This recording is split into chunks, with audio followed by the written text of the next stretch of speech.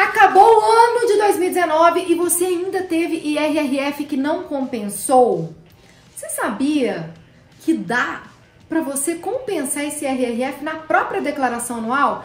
É o único dado de bolsa que na declaração anual de fato vai alterar o valor a pagar ou a restituir de outras coisas que não são de bolsa lá na declaração. Então, se você não viu o vídeo anterior que eu falei se você tem que escolher que declaração modelo simples ou completa, qual que é o mais vantajoso, que não faz diferença, ou seja, talvez você nem precise assistir o vídeo que eu já respondi, mas se quiser assistir o vídeo anterior, o link tá aqui na descrição.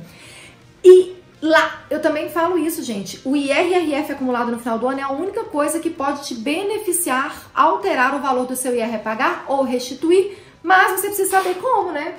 Não adianta eu falar que dá pra fazer e tudo se eu não mostrar a tela do computador. Por isso que esse vídeo é mais um vídeo da série Como Declara. Cara, vou ter que inventar essa música pra essa série. Todos os vídeos agora dessa série, eu tô dando essa cantadinha, né? Pra descontrair, porque a gente tá falando de tributação, né, galera? E mesmo se não fosse pra descontrair, eu não ia conseguir fazer diferente. Então fica nesse vídeo que o que importa é a informação de como que você aproveita esse RRF acumulado até o final do ano para te beneficiar e você não morrer com esse RRF aí de um ano pro outro, porque você não consegue carregar de um ano pro outro, tá? Fica aí no vídeo. Vou detalhar pra você, mostrando a tela do meu computador. Ah, isso é mais uma coisa. Como essa série eu estou mostrando a tela do computador, ajudando muitos investidores, ajuda eu também a ajudar muitos investidores, ajuda eu a ajudar. Compartilhe esse vídeo, curta, se inscreva no canal, ative as notificações. E esse compartilhar esse vídeo é com seus amigos investidores, com seus conhecidos investidores, os seus 500 milhões 499 grupos do Telegram que você tem aí, que eu sei que você tem, tá uma galera no Telegram, eu não tô não, gente, eu, eu falei que ia entrar, não entrei, tá, mas tá, tá tudo bem, continuo gerando um monte de conteúdo nas redes. Fica aí que eu vou te explicar.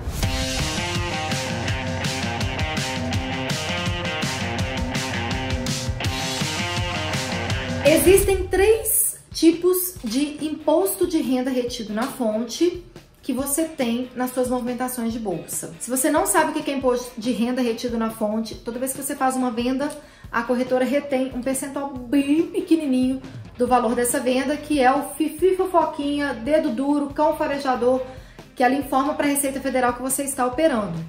E aí, pô, cara, só tive prejuízo em 2019 e eu tive esse RRF retido ali, surupiado do meu bolso. Não é surupiado porque é legal, a corretora tem que fazer isso, tá? Mas tiraram do meu bolso esse RRF eu quero de volta. Ou então, pô, eu até abati esse RRF em algumas datas que eu tinha para pagar. Mas novembro ou dezembro teve mais RRF e eu não tive DAF. Ou seja, se lá em dezembro você tem IRRF acumulado de três tipos, operações comuns, que na declaração chama Lei 11.033 barra tá? Lei 11.033, quando a linha tá assim, é IRF de operações comuns de swing trade. Se for de day trade, tá? IRF de day trade. E de fundos de investimento imobiliário, vai estar tá lá no menu fundo de investimento imobiliário. Você não tá entendendo nada do que eu tô falando? Então vem aqui pra tela comigo. Estamos com uma declaração de um CPF fictício. Não precisem preocupar, ninguém vai roubar esse CPF e fazer nenhuma mardade com ele, igual o coronavírus está fazendo essa mardade com a gente aí de ficar confinado, mudar os hábitos. Alguns hábitos, gente, até é bom mudar. Não posso ficar resenhando no início do vídeo, porque o pessoal do Times Money fica. Nossa, Times É, Money. lá no final eu resenho sobre essa crise que a gente está passando. Então vamos lá, galera, olha só. IRRF é só quando vende, tá? E quando você vende, em qual menu que você tem que ir? Renda variável. Então, vamos para o menu renda variável. Observe que ele tem dois submenus. Um é operações comuns day trade e o outro é operações fundos de investimento imobiliário. Nesse operações comuns day trade, vamos supor que lá em setembro você começou na bolsa e aí você fechou negativo em operações comuns de dois mil reais. No day trade você teve um lucro de cinco mil reais, isso tudo de ações. E aí, né, para você ter tido esse resultado, você teve IRRF. Então, IRRF Day Trade, tá? Observe que ele é uma linha à parte. Então, de IRRF de Day Trade aí foi de R$ reais que você teve e IR fonte lei 11.033 no mês, vamos supor que foi R$ reais. Então tá, preenchi aqui. IR na fonte Day Trade R$ reais e IR na fonte do mês R$ reais. Você teve R$ reais de IRRF. Você tinha de imposto a pagar mil reais, né? Que é referente ao day trade. Observando que o prejuízo de swing não compensa com o de day trade. Então, 5 mil de day trade te gerou 20% de IR a pagar, que dá mil reais. Como você teve esses dois IR retido, um de day trade e um de swing, né? A soma do mês de day trade deu 8 reais. A soma do mês de swing deu 5 reais, o seu imposto a pagar cai para 987. Ou seja, esse RRF você já compensou ele na própria DARF que você teria que pagar nesse mês e a DARF cai para 987. Ok, não é desse IRRF que a gente está falando, a gente vai falar agora aqui do IRRF de outubro, o mês que você não tem IR para pagar. Você teve aí um prejuízo de 200 reais e um prejuízo de 300 reais. Estou colocando aqui na linha de operações, tá, tudo bem. Vou colocar aqui em futuro também, para você não falar por que essa linha está preenchendo só essa primeira linha. Cada linha coloca o resultado referente a cada operação, ok? E aqui, ó, IRRF do mês de day trade, vamos supor que deu dois reais e de swing trade deu três reais. Você não teve imposto a pagar nesse mês, porque você fechou ele com prejuízo. Você inclusive estava com prejuízo de dois mil de swing trade no mês anterior. Você teve 200 reais de prejuízo nesse mês. O seu prejuízo, ó, próprio programa somou. Eu adoro esse menu, gente. Sério, porque né, ele já dá uma facilitada. Então, seu prejuízo foi para 2,200. E de day trade, como no mês anterior você teve R a pagar de day trade, é como se zerasse. E aí só carrega o, o resultado desse mês de day trade. Então, você fechou o mês com prejuízo a compensar. Aqui, ó, na coluninha swing trade. Vamos voltar aqui. Pô, essa coluninha podia ser fixa também, né? Pra ficar fácil do cara ver. Mas tudo bem. Foca aqui, ó. Operações comuns. E a outra coluna é day trade. Então, na hora que a gente desce, op... ah, meu Deus, estava aqui escrito operações comuns e day trade. Ok. Me tiraram dois reais de RRF e três reais de RRF e eu não vou ter DAF para compensar eles. Karma. No mês seguinte, caso você tenha lucro, você vai compensar. Mas aí o que aconteceu no mês seguinte? Você não teve lucro. E aí você teve um prejuízo em ações, opções de 5 mil reais e você teve um prejuízo aí de dólar de 900 reais. E aí a corretora ainda descontou mais um real de day trade de RRF e mais nove reais de swing trade de RRF. Você ficou com um IRRF a compensar de day trade total, tá, gente? Aqui, ó, de três reais, porque era um real do mês anterior. Desculpa, era dois reais no mês anterior, mais um real desse mês, três. Nove reais de swing trade desse mês, mais os três que tinha no mês anterior, doze reais. Caramba!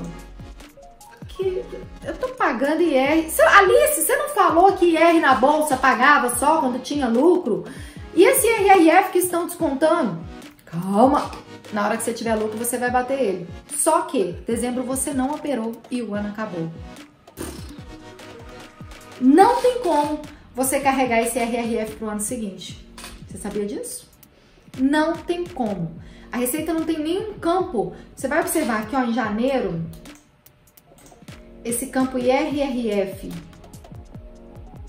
do mês anterior, ele não deixa você digitar não é igual o campo resultado negativo do mês anterior, que quando você tem prejuízo em 2018, na declaração de 2019, na aba janeiro de 2019, você lança o prejuízo de 2018 aí para você ir carregando ele, ou seja, o prejuízo você carrega de um ano para o outro. Agora o IRRF descontado não. E aí como que você tem que fazer? Bom, parte dele você vai conseguir e parte você também vai, mas não por aqui. Então vamos no mais fácil, tá? Então, vamos lá, na abra dezembro, abra dezembro, abra a aba dezembro, ele só carregou a informação de volta. Ó, você fechou o ano com R$ reais de day trade a compensar, de IRRF, né? IR fonte é o IRRF que eu fico falando, né? Fifi fofoquinha. E 12 reais de swing trade. Ah, Alice, mas eu operei fundos de investimento imobiliário também. E eu operei só dezembro, ó. Tive aqui um resultado negativo de dois mil reais e tive um IRRF aí de 10 reais. E aí, como é que eu faço com esse IRRF difícil também? Vamos lá, tem um menuzinho aqui, supimpa, que você vai conseguir carregar isso. Então, foca aqui de novo na tela, ó. Você fechou o ano de 2019 com 10 reais de IRRF acumulado de FIIs que você não compensou, ok? Ok. Você fechou o ano com 12 reais de IR na fonte de swing trade, que é a lei 11.033. Esquece o day trade por enquanto, tá? Então, 10 do FIIs mais 12 aqui da renda variável de operações comuns, né? Só da lei 11 mil dá 22. E aí, tem um menu aqui. E conta uma coisa, você sabia desse menu?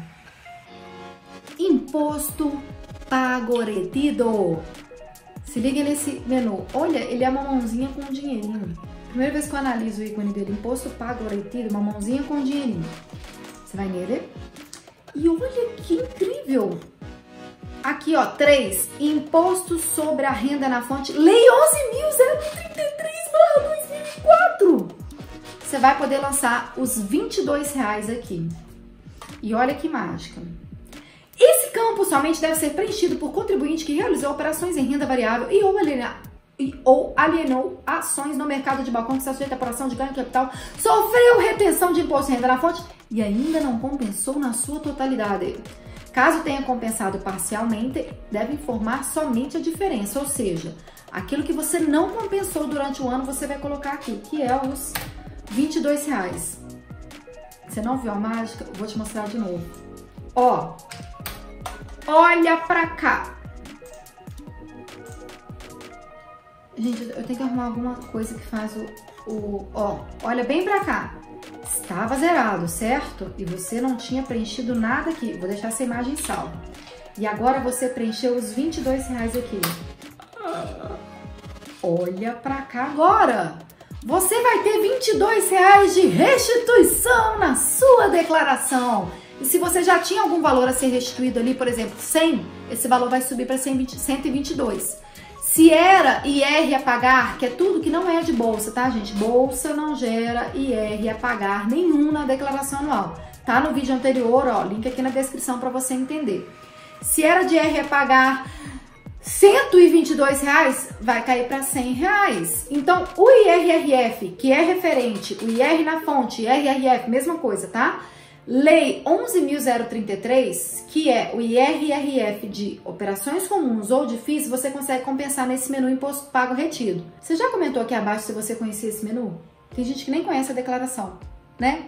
Mas, você que já conhecia a declaração, conhece esse menu? Gostou de saber que você pode compensar o IRRF? Ok, se você gostou, então eu vou embora. Não! Eu sei que você que fez day trade tá aí falando. E essa louca aí não vai falar do IRRF de day trade? Vou falar, gente, mas vou falar com muita raiva. Porque ele não tem onde compensar na declaração. Sabe aonde que você vai conseguir a restituição dele? Num programinha. Num programinha que chama Perdecomp, que o ícone dele é esse. Mentira, não é o ícone dele. Mas é quase, porque ele é dificílimo de preencher. A receita vai te restituir, porém... porque você perde a compostura. Nossa! Ele, é, é, boa, Ana Luísa bingou aqui agora, ele chama perde conta, porque você quase perde a compostura na hora que você vai preenchendo ele, porque ele é super detalhado, até a gente que é contador tem muita dificuldade de preencher ele. Então você analisa aí o seu tempo, né? No caso aqui nosso, quanto que era de day trade, gente? Você lembra, Ana? 22 reais, não. Não, 22 era de... É, vamos aqui, aqui, parará, dezembro, opa, já estava na tela, 3 real. Você teve 3 real aí de imposto de renda retido na fonte acumulada no ano de 2019, 3 real vale o preenchimento? Vale, 3 reais é meu e eu quero. Cara, preenche, preenche, vai com fé, vai com fé, preenche. A Receita vai te restituir, mas pode demorar até 5 anos. Ela corrige pela taxa Selic, mas ela pode demorar até 5 anos, mas ela restitui. Então, fica a seu critério aí se você acha que deve preencher ou não. Pô, o de swing trade e o de FIIs não dá mole, cara. Só vai lá no menu imposto pago e preenche, né?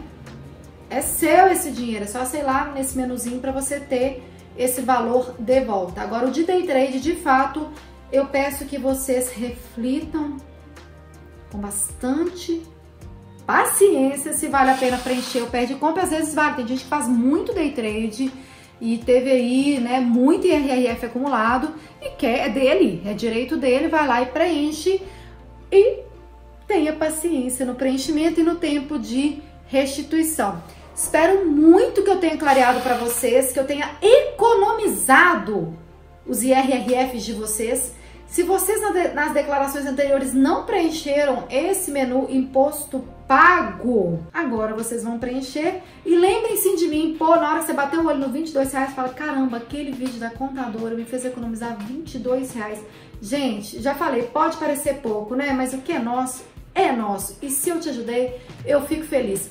Quanto de IRRF você vai economizar com esse vídeo? Comenta aqui abaixo pra mim, para que eu fique bem motivada de falar, caramba, cumprindo a missão de ajudar os investidores a investirem melhor sem medo do leão. Porque investir melhor, gente, é não desperdiçar dinheiro também, né? Você tá na, você tá na, na renda variável para ganhar dinheiro. Você vai lá e desperdiça, desperdiça dinheiro? Quase não consegui falar, né? De tão incoerente que é. Desperdiça dinheiro? Muita incoerência. Então, galera, curte, se inscreva, ative as notificações. Ana Luísa. Para que o YouTube entenda que eu economizei um dinheirinho seu. Se eu economizei um dinheirinho seu, pô, não custa você se inscrever, curtir, ativar as notificações. Eu tenho muito conteúdo no Instagram. Tenho no LinkedIn, no Twitter também.